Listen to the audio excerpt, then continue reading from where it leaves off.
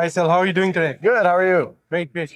So after this uh, recent advent of AI, especially Gen AI, there's a lot of talk about AI. It's going to help us in pretty much everything we do. But at the same time, there are concerns that kids will not develop the analytical and mental skills through the natural education process because now AI is there to help them with everything.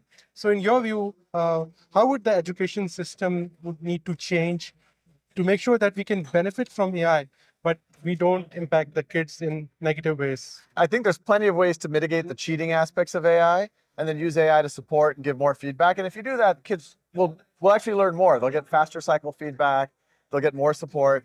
And I think there's ways to do assessment using AI that actually can assess a richer set of skills than just traditional multiple choice. So that's going to be a good thing. So as long, and I think there's going to be some scenarios, maybe for older students, where once they're in the real world, they will be able to use these tools in unfettered ways. So there might be sense to have some projects where you do encourage use of, of this in a, and I think as long as you have a balance, uh, I think it's as important as ever for kids to learn their traditional skills.